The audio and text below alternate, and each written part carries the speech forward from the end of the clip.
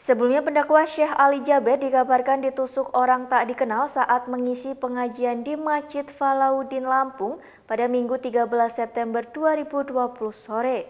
Diketahui pelaku penusukan yakni Alpin Andria bin M. Rudi berusia 22 tahun, warga Jalan Tamin, Kelurahan Sukajawa, Kecamatan Tanjung Karang Barat, Bandar Lampung.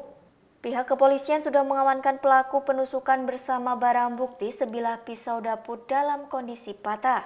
Diketahui pada saat Syekh Ali Jaber memberikan ceramah di atas panggung, tiba-tiba pelaku berlari ke arah Syekh yang berada di atas panggung sambil membawa pisau di tangan kanannya. Setelah pelaku berada di atas panggung, kemudian pelaku langsung menusukkan pisau ke arah lengan kanan Syekh sebanyak satu kali.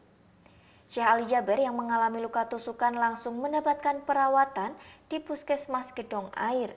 Menurut keterangan orang tua pelaku, M. Rudi bin Zainal Arifin 48 tahun, anaknya mengalami gangguan jiwa sejak 4 tahun terakhir.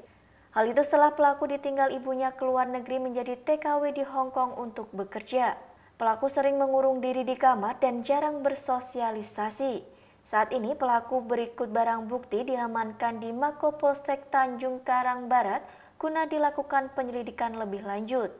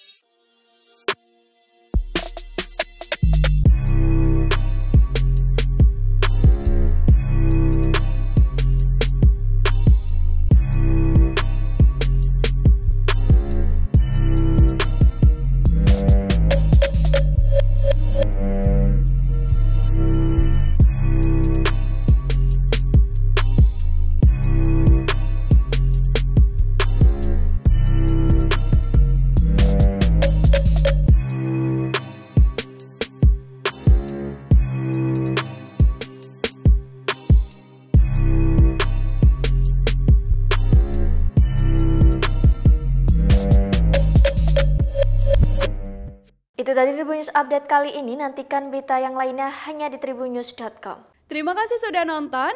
Jangan lupa like, subscribe, dan share ya.